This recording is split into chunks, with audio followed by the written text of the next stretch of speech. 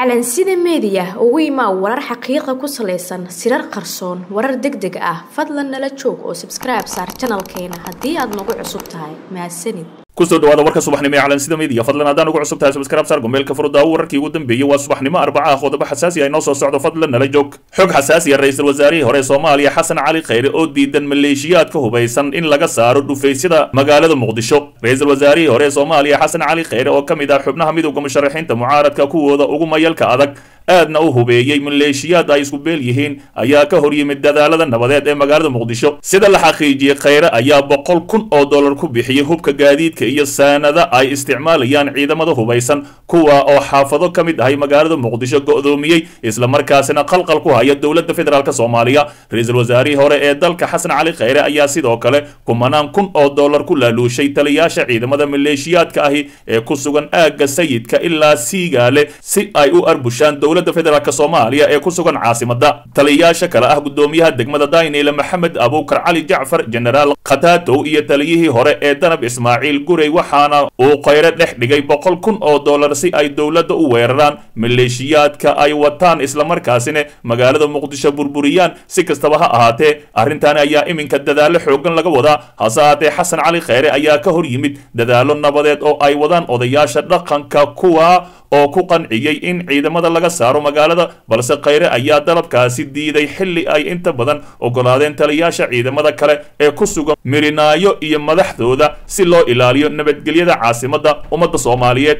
Si kastaba ha ahaatee maleeshiyaadka ku beesha ahi khayre ayaa intooda badan magaalada muqdisho qabsaday islamarkaasina waxa uu doonayaa iminka in farmaajo villa soomaaliya laga soo bixiyo dhinaca kale ra'iisul wasaarihii hore ee soomaaliya cabdirashiid cali sharmaarke oo rooble u soo jeediyay talo la xiriirta taliyaasha ciidamada dowladda. Senator cumar cabdirashiid cali sharmaarke horeyna u soo noqday ra'iisul wasaarihii hore soomaaliya ayaa ka hadlay sida uu ra'iisul wasaare rooble ugu guulaysan karo inuu dalka ka qabto doorasho xalaal ahi laguna wada qanacsan yahay. Cumar cabdirashiid ayaa sheegay in guul uu rooble ka gaaro doorashada dalka ay ku xidhan tahay in marka hore dib u habeyn lagu sameeyo madaxda hay'adaha amniga waddanka maadaama uu shaki soo kala dhex galay saraakiisha iyo taliyaasha ciidamada kadib dagaaladii ka dhacay magaalada muqdisho. Sharmaarke oo ka tirsan aqalka sare weligiisna aan ka soo qayb gelin kulamadii uu afartii sano ee la soo dhaafay yeeshay golaha uu ka midka yahay ayaa xusay in ra'iisul wasaare maxamed xuseen rooble uu u baahan yahay jawi xasiloon si uu ugu guulaysto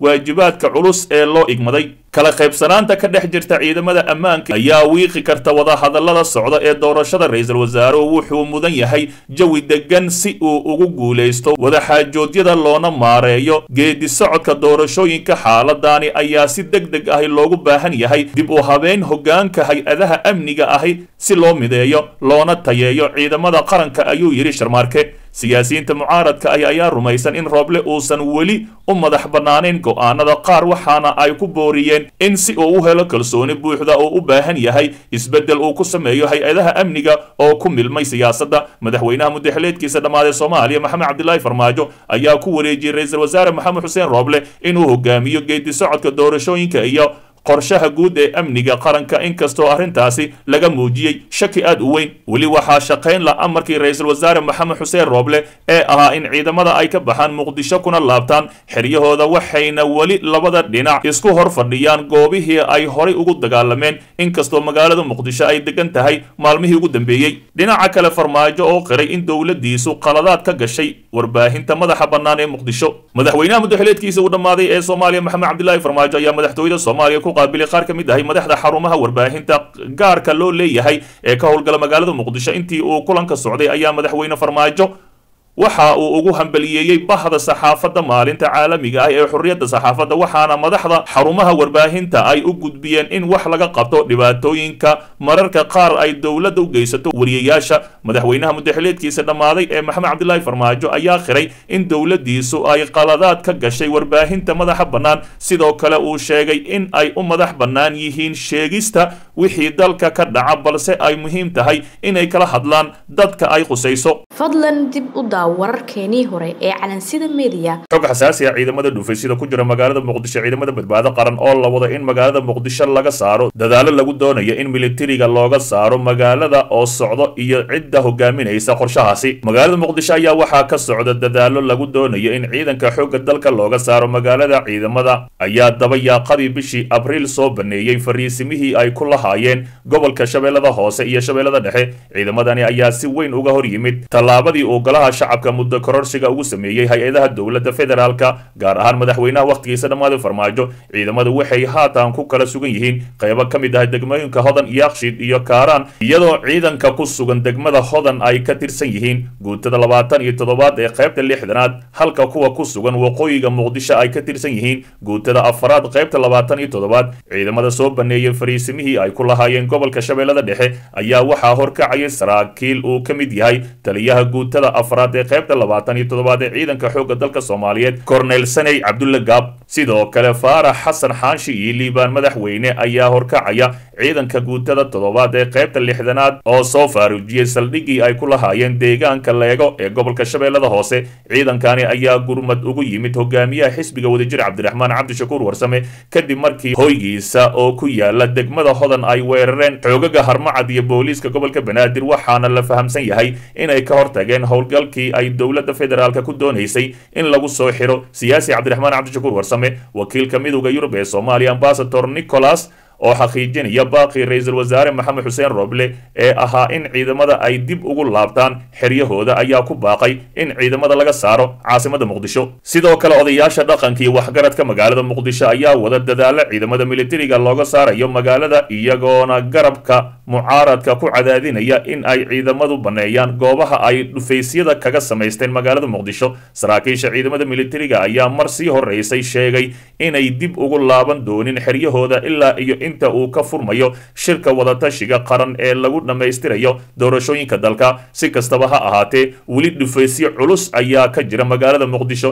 ciidamada waa is hor fadhiyaan islamarkaasina wax kasta ayaa dhici kara. Haddii ciidamadaasi la qaado waxaa macquul ahay ciidamada harmacad inay si toosa u weeraraan midowda musharaxiinta mucaaradka. Dhinaca kale taliyaha ciidanka booliiska soomaaliyeed cabdi xasan xijaar ayaa soo saaray amar ku socda ciidanka oo u muuqda in lagu xakamaynayo dhadhaqaaqyadooda iyo howlaha ay qaban karaan taliyaha ayaa faray dhammaan ciidanka booliiska in ay ku ekaadaan shaqadooda oo ah xaqiijinta amniga muwaadiniinta iyo hantidooda. Si fiicanna ay ula dhaqmaan dhammaan shacabka soomaaliyeed inkastoo xijaar uusan si gaar ah u shaacin. Sababta keentay amarka cusub haddana dad xog ogaal ahay oo ka tirsan booliiska ayaa laga soo xigtay in ujeedka amarkaani uu yahay in laga ilaaliyo in ciidanka ay ku milmaan siyaasadda. Ciidamada booliiska gaar ahaan kuwa loo yaqaano harmacad ayaa horay ugu lug yeeshay weeraro ka dhan ah musharaxiinta mucaaradka iyo dagaalka ka dhanka ah magaalada muqdisho. Si kastaba ma cadda saamaynta hadalka xijaar uu ku yeelan karo ciidankani sababtoo ah inkasta oo ciidanka ay hoos tagaan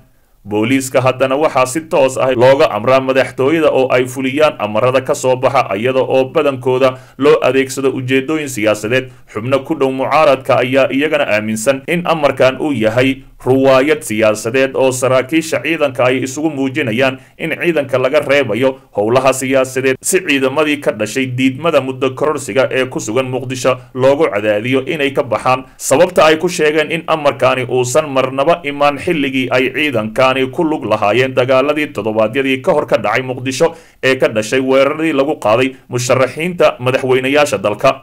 Dhinaca kale ra'iisul wasaare ku-xigeenka xukuumadda xilgaarsiinta mahdi maxamed guuleed qatar ayaa maanta waxa uu la kulmay ergeyga gaarka ah ee wasiirka arrimaha dibadda qatar doctor mudlaq labada dhinac ayaa waxa ay ka wada hadleen arrimaha doorashooyinka siyaasadda iyo iskaashiga labada dal sida uu sheegay ra'iisul wasaare ku-xigeenka xukuumadda xilgaarsiinta mahdi maxamed guuleed qatar waxa aan la kulmay ergeyga gaarka ah ee wasiirka arrimaha dibadda dalkaasi qatar waxa aanu ka wada hadalnay arrimaha doorashooyinka siyaasadda iyo iskaashiga labada dal ayuu yidhi mahdi guuleed ergeyga gaarka ah ee wasiirka arrimaha dibadda dalkaasi qatar doctor mudlaq oo toddobaadkani soo gaaray magaalada muqdisho ayaa waxa uu la kulmay madaxweynaha ra'iisul wasaaraha guddoomiyaasha labada aqal maamul goboleedyada maamulka gobolka banaadir qaar ka mid ahay madaxweynayaasha dowlad goboleedyada iyo midowga musharaxiinta mucaaradka.